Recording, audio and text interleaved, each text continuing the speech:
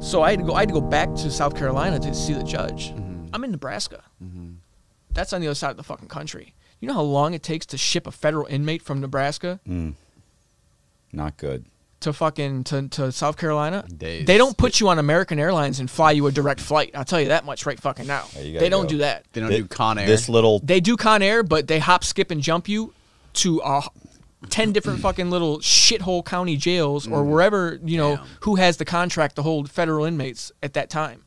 You know, so that I'm bouncing around. Yeah, so I go from, dude, I'm trying to remember now. I went from Nebraska to so we're, the small town I was in. I sat there for like a week, and then I went to Omaha, Nebraska, which is the big city. It's the town. It's the big town in, in, in Nebraska, which is they handle all the, like the big cases. I sat in Omaha for a month, maybe two weeks. I think two weeks until they transfer me. From Omaha, I went to what's the federal uh, prison in Oklahoma City. no, right next to Nebraska. It's in um, Indiana. Oh, it, uh, um, right, Leavenworth. Leavenworth. Leavenworth. Yeah, so they they transferred me from Oklahoma to Leavenworth. So sad that I know this. to like by yeah, way. yeah. So Matt's sad. an, uh, a, a federal prison encyclopedia. yeah, I whenever you need information. Um, so yeah, I so then I go to I go to Leavenworth. I'm in Leavenworth for a couple of weeks, maybe a month. From Leavenworth, they put me on Con Air and they fly me out to Oklahoma, and I sit in Oklahoma in the in the federal prison out there for like a month. And when, okay, mind you, when they're transferring you around, you don't get into general population. You're in holding. You're in holding for a month. That means no commissary. That means the little tiny toothbrush with the little tiny toothpaste that doesn't fucking work. You know what I mean? So your your breath's always hot. You know what I mean? You get the little tiny deodorant because I can't buy deodorant, so you get the little tiny deodorant that's get one the- one thing and it comes out and it fucking pops and hits the floor and the jump. You know what I mean? The one razor that just basically just cuts you and cuts you and cut. I mean, you just have Razor. little. Yeah, I didn't even get razors. You Yeah, yeah, fucking- yeah. Well, you, you got to like Yeah. you can request. A, they'll give it to you. You shave. They give it. You give it back. they watch you use it. Yeah. Oh, you take the razor out and use a knife. You know what I mean? yeah, yeah. You Yeah. can you, you can pop out the razor blade. Yeah. Now you got a razor. You Oh, can fucking okay. put it on the end of Got it. it. I mean, yeah, it's yeah. it's just it's fucking. So, these guys yeah. are ingenious, but if you're just trying to fucking survive, Mm-hmm. like I'm not involved in all that shit, my life's miserable because you guys want to kill each other. Yeah, yeah. So they transferred you back to South to Uh, where? South Carolina or what? Eventually, I get back to South Carolina. After What Leavenworth, happens yeah, I go to Oklahoma. Then Oklahoma, I go to uh, Atlanta. Then Atlanta, I go to Lovejoy. Then from Lovejoy, I get fucking transferred to some other little. Listen, and mind you, through this whole process, I almost starved to death twice. Okay, they left me in a fucking room to, to, to sit me somewhere for a second while they went and did something and forgot about me for like 18 fucking hours. No fucking bullshit, dude. I was there was no, there was nowhere to get water in the fucking room. I was gonna die. I was gonna fucking die in that room if somebody wouldn't just open the door to see if somebody was in there. yeah. Yeah. So then I and then I get put into some little shithole fucking um, jail in South Carolina where they starve you, where I almost fucking starved to death. You know. So now I've got PTSD from that shit. so yeah, no, I finally get back out to South Carolina. I don't get back out to South Carolina to see my judge until after January, after traveling from November, getting picked up in like the beginning of November. So I don't even get to see my judge until the middle of January. And this how much time had passed in that that time period? Like, like from when you three months, Three months. ninety days. Okay. Yeah, it took about ninety days to get me just to get me in front of the judge. God, bro. Yeah, yeah, And then you got six months. Yeah. And then they killed my paper. What does that mean? Uh, they released me without federal probation. And I How had does that happen? my probation or my my judge said Yeah. that I'm not a supervisable. Yeah, some guys uh, like like I'm a flight risk because they've had listen. They've had to extradite me from from South from from from Nebraska to South Carolina. They've had to extradite me from Florida to South Carolina multiple times, and they're like, it's just costing us too much money to ship you all over the country because you can't stay in one spot. Mm-hmm. and he keeps running. and I and I keep taking off. I keep absconding on probation. But hey, I'm not a career criminal. I I'm not a drug addict. You know what I mean? I'm not somebody who is in the higher category for re- recidivism. Yeah, he's not going to go into a bank with a fucking AK-47. It's not like that it's Yeah. going to come Right. bounce. I'm not back a danger to the public. Yeah, I'm not gonna. You know, what I mean? I'm not. I'm not a raper or, or a stabber or nothing like that. Right, right, right. Like, so yeah. I'm sorry. I was going to say the a lot of guys. I, I've known guys that have literally like they'll get five or ten years. They'll have five years paper. They'll get paper meaning probation. They'll get out and violate, and come back to prison. And then so they'll violate their paper and go in front of the judge and be like the judge and the judge will they used to do this all the time they don't do it as much anymore the judge would say okay look you've got you have three years left on your probation you know if i give you a cup if i release you and you put you back on, on probation you know you're gonna be okay and they, they will you know you're gonna do the right thing there are there are guys that'll be like absolutely not i'm gonna violate again like they'll get caught smoking pot or doing drugs. They'll, Yeah. go, they'll go, I'm going to do drugs again, Your Honor.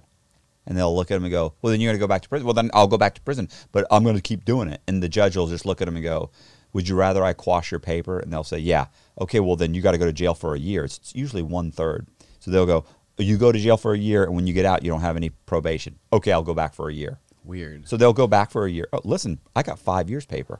Yeah. But the problem is I owe six million. That's rough. Yeah. I, He's if, got somebody up his asshole Yeah. for five fucking years. Dude. She's a nice lady though. it- she, she, I mean, she is nice. She's just strict. but- Most of them are nice. Yeah. Yeah. But Given they, they have to do their job. right. I think the right. craziest thing about all this is like he had a victimless crime. Yeah. You basically scammed scammers. You scammed the financial institution, the banks. Well, there were some victims in there. Yeah, there's a couple of victims. There There, was pe- some But big- people, lost, some people lost you, money. You had legitimate victims, like Yeah. people, individuals. You were taking it straight from their bank accounts, right? No, he's these are credit cards. They don't lose any money at all. They do have to make some phone calls, and it's a pain in the ass. But look, if I take your credit card information and I run up five thousand dollars on your credit card, and then you get the bill in the next month, and you go, "Holy shit!" Right. You just call them and they they That's not they, me. they chalk it up to fraud. Right. They go, they, they yeah. You, you file a police report. The so most you didn't, can lose. you And didn't, really, you I was didn't just- take, you didn't steal anybody's And really- hard-earned money. No, no, no. either. Really, I was just I was just manufacturing financial transaction devices. right. yeah, that was his. his that was the actual charge. Was it was uh, one of the um, charges, yeah. access to what was it called? Uh, uh, uh, a fraudulent transaction device. Yeah. A manufacturing of a tra- fraudulent. That's just amazing. device. Like Which they how dropped much those more charges. time that you got than it's John. wild, ain't it?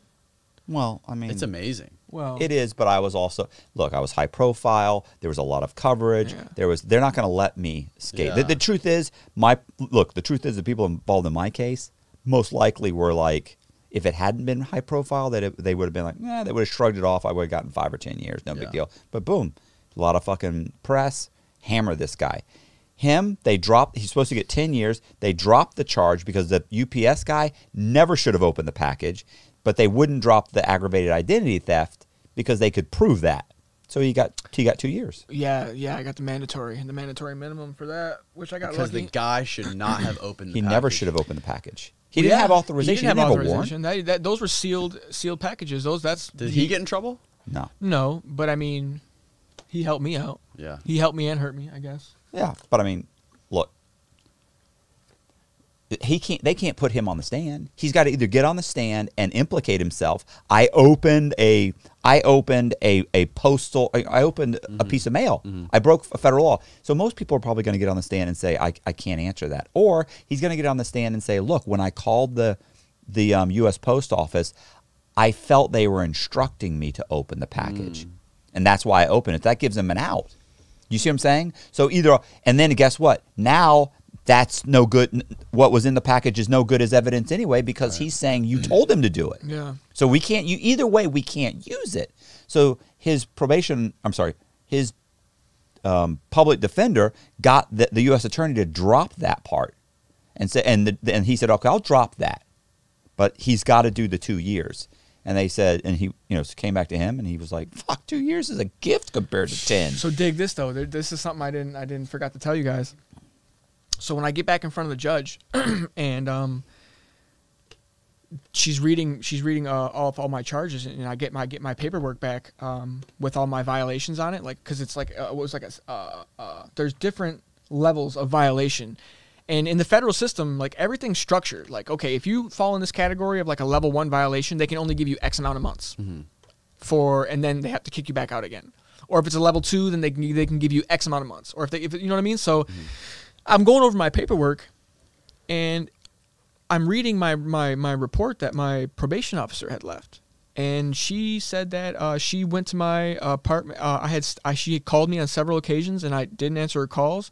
So she went to my apartment, and I didn't answer the door, and that the um, landlord had just happened to be there, like cleaning it out, and she said that I had moved. So she violated me from absconding for probation. Yeah, not, not had nothing. Those two dudes that busted me never went and fucking Told them, told, told my probation officer nothing. Really? Never told, never. So Yeah, I knew- ran. I, ran for no fucking reason. I could have stayed. I could have oh. stayed in Miami and, and, and, and just tried to do the probation thing, but I didn't know. And I and you know, I didn't know they weren't going to say anything. That was fucking who the fuck knew they weren't going to. They God didn't. damn. She didn't know. She had no idea that any of that had even happened, and they violated me because I I just absconded. Yeah, That's fucking fucking wild, bonkers. right? I know, dude.